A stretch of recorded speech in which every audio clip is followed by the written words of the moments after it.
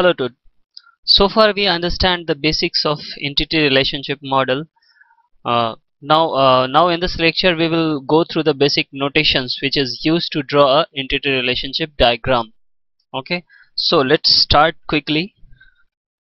And okay, so the first thing we understood in this chapter was entity. Okay, so what is entity?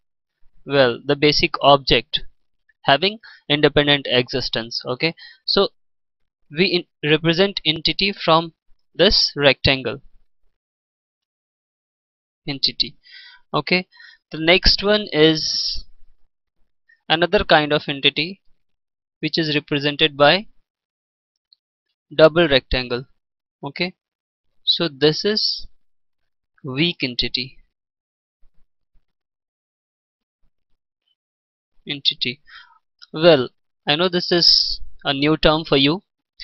Uh, we have a separate lecture on this weak entity. So we will be covering what it is. Just remember the symbol for now.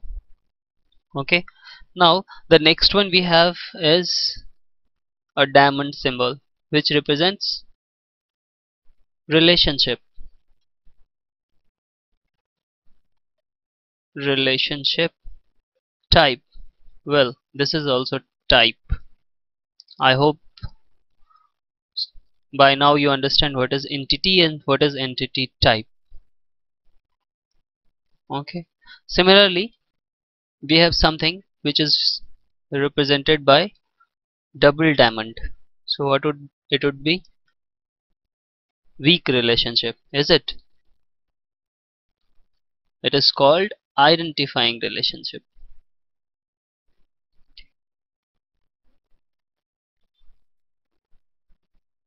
relationship. Well this identifying relationship has some relation I mean has some uh, something to do with this weak entity.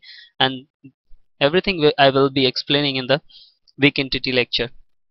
Well another one we have studied is attribute. Attribute. So how do we represent attribute? We represent attribute with a ellipse okay. Sometimes you will see the ellipse having some attribute which is underlined. Okay. For example id something like this. The attribute will be underlined. So it means this is a key attribute.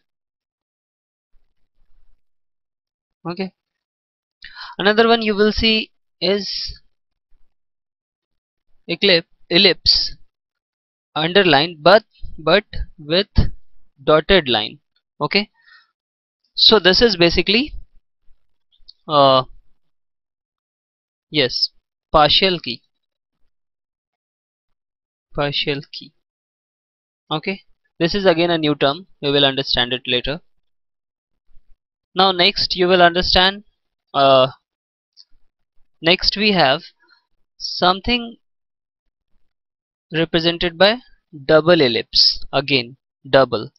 So this is multi-valued attribute. Multi-valued attribute. This we know already right? Now you will see that attribute having multiple branches like this. Okay? Like this. Okay? So this is composite attribute. Okay? Composite attribute we know already right? Okay.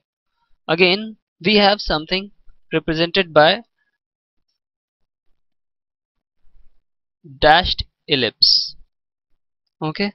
So this is derived attribute. Derived attribute. Well so now we also have something like some uh, restriction or constraints imposed over the ER diagram. That also we have to represent in our ER diagram right? For example uh, a student can take multiple course right? So this is also a I mean we have some uh, this we call cardinality ratio which is our next lecture. So this we represent by entity entity. Here there will be a relationship okay in between. And here the relationship we write as 1 is to n. So if this is e1 this is e2 so e1 is to e2 is 1 is to n okay. So depending upon the relationship we can say entity e1 can participate in n instance of entity e2 okay? So this is the participation ratio you can say. Okay? Or cardinality ratio.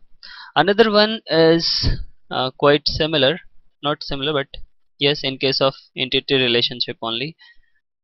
We have entity we have relationship. Okay? So it says relationship between entity e1 and e2 but you may get double line here okay so this is this double line is called total participation.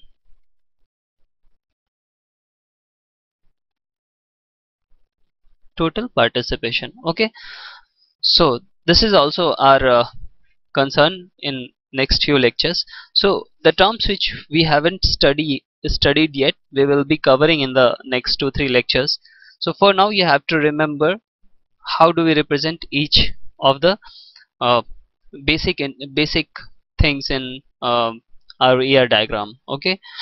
So in the next lecture I'll be explaining the things like uh, cardinality ratio and the participation constraint okay? So see you in the next lecture. For now this was just a, a notation which you have to remember. So thanks for watching